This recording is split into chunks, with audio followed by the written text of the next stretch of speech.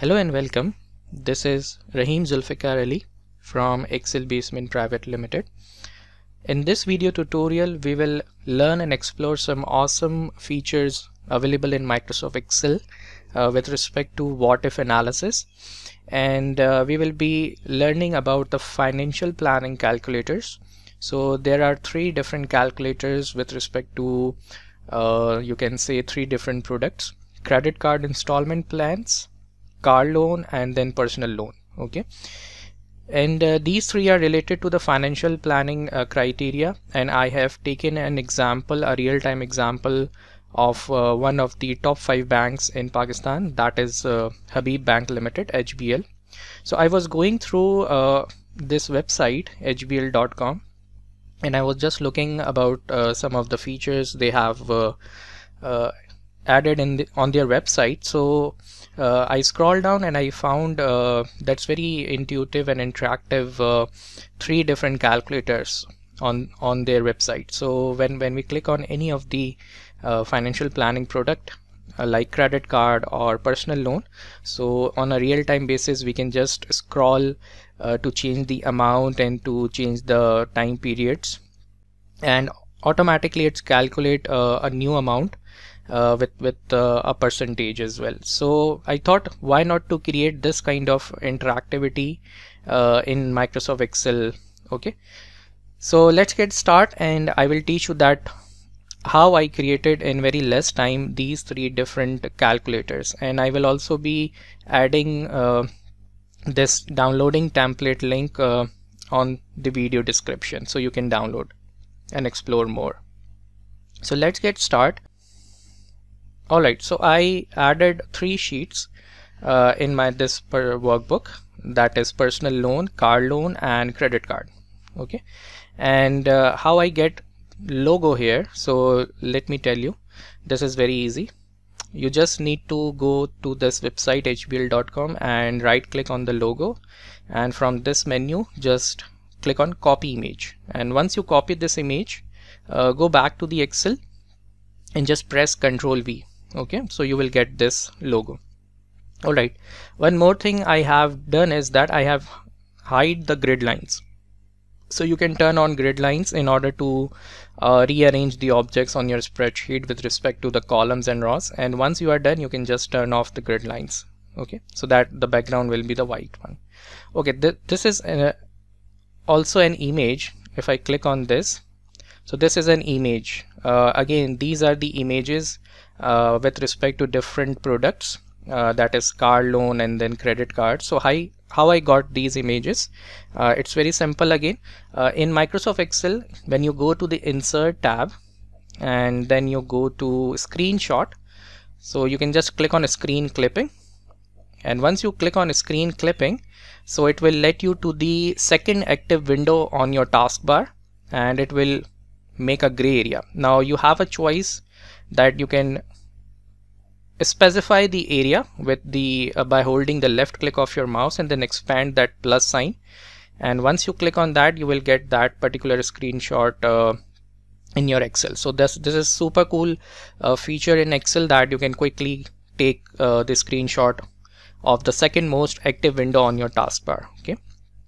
All right so i got all these pictures by this technique so I hope you got my point that uh, you can take the screenshot by clicking on a screen clipping right? Alright now to navigate between these three different products like personal loan car loan credit card what I have done is I have inserted a text box. Uh, go to insert and then in the shapes this is the first icon of text box. So once you insert the text box let me show you a demonstration. And you want to uh, for example go to the car loan area. So I, I will write car loan. And just right click on this text box and you will find in this contextual menu link. If you're using some previous version so you will find out hyperlink okay? So when I click on link so this insert hyperlink dialog window will appear and click on place in this document. So whatever the sheets uh, will be in your uh, workbook will appear here and just click on that particular sheet. Okay car loan for example. So once the hyperlink is being created when I click on it so I will go to the car loan. And again going back to the previous any product so you can again add some text boxes and just do some uh, cross navigation uh, between the worksheets okay so these are basically hyperlinks and when I click on any of the link I I can easily go and come back to that that particular product right? So I hope this is clear to you. All right. Now let me just delete this. Okay. Now another thing which I observe on their website is about uh, that this is the scroll bar and we can uh, increase the amount or we can increase the time period as well and the amount is being changing. So let me show you that how we can do this kind of interactivity in excel. So i have added a scroll bar. Okay? So let me tell you that how to add the scroll bar. You have you must have the developer tab and go to insert and in the form controls you will find scroll bar from here right so it's very easy. Once you draw the scroll bar you just need to do some settings like uh, right click on the scroll bar go to format control. And in the control tab you need to fill some of the fields here like uh, what is the starting value? That will be the minimum value. Uh, what will be the maximum value? Incremental change. Whenever you press the scroll bar what will be the incremental change? And then the cell link. Okay that's very important to define the cell link as well. So after doing all these uh, filling all these correct uh, fields. Now you can see here whenever I press the scroll bar uh, the amount is being increasing and the new monthly installment amount is is coming from that particular criteria right? All right. Rest is all about the formatting. Uh, this is the border. This is gray border. Uh, the color of HBL is like teal. So let me also guide you that how you can uh, exactly get this teal color. Because for the first time when you write a number for example 67 and you want to apply this particular theme color of HBL you will you would not find exactly that color. You need to add that. Now we don't have uh, a kind of eyedropper or color picker in this menu in Excel still. But what I did is I open a PowerPoint and uh, I just uh, took the screenshot from that HBL website okay. And this is the image which I took from the HBL website as, as a screenshot.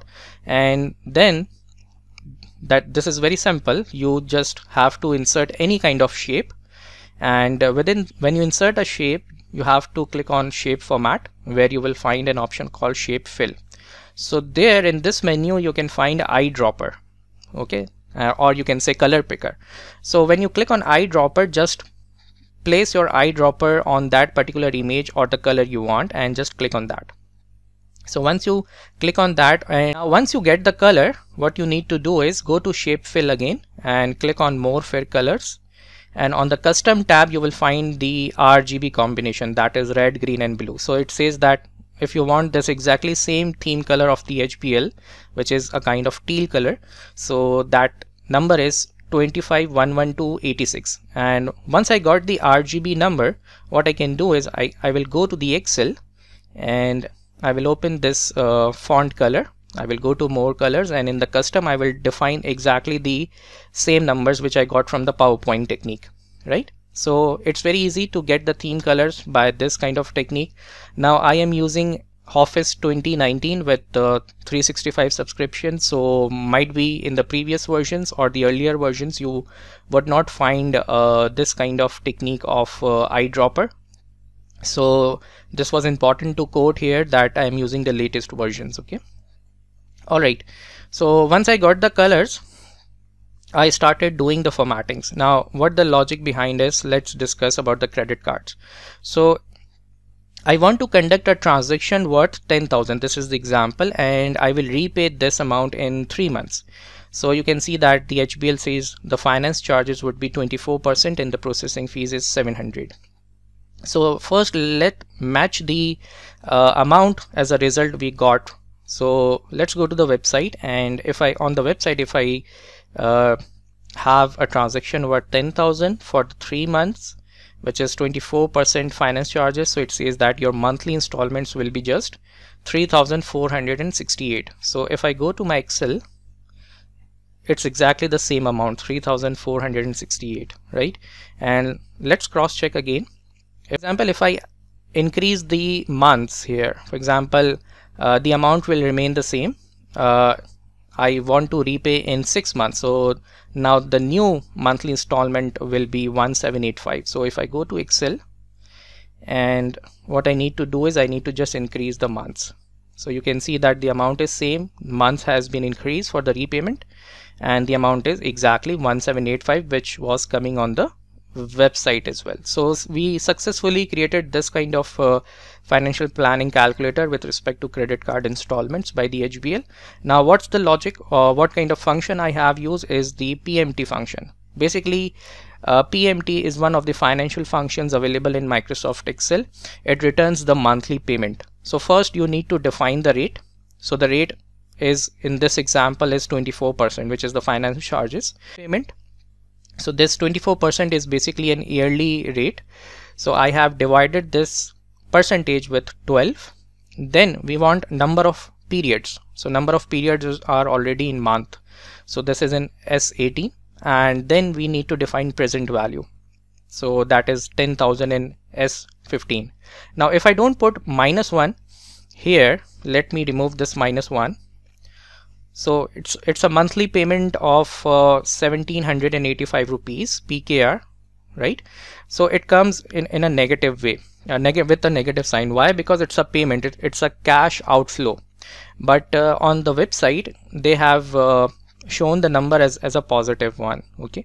So technically uh, the payment should be in a negative because it's a cash outflow. But if you want to show it in a without negative sign so definitely you need to add multiply by minus 1 so that it will remove the brackets right so this is very simple logic uh, we have used the PMT function behind and you can uh, see that exactly the same kind of layout in in Excel and the logic has been created in very less time when we see this kind of calculator in real time on their website.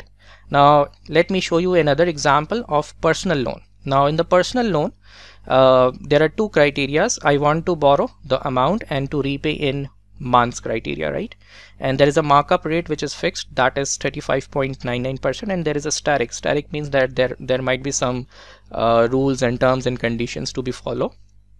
So uh, this amount could be vary because uh, it, it depends that when we create loan amortization schedule it also depends that either uh, how we deal with the numbers. Uh, we need to round down the numbers. We need to round up the numbers. So it would not come exactly when we apply the logic in excel.